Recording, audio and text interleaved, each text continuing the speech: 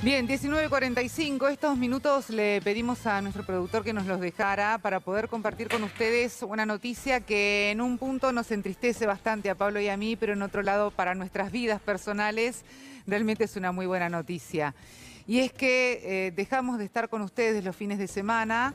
Eh, después de cinco años, Sí, Pablito. sí, pero casi, casi cinco años. eh, Sí, yo un poquito más que venía de Claro. con. Claro, exactamente. Pero con vos hace cinco años. Sí, que, que venimos laburando con ustedes el, el fin de semana, los sábados generalmente, que fue siempre nuestro minuto a minuto, también incorporando los, eh, los domingos.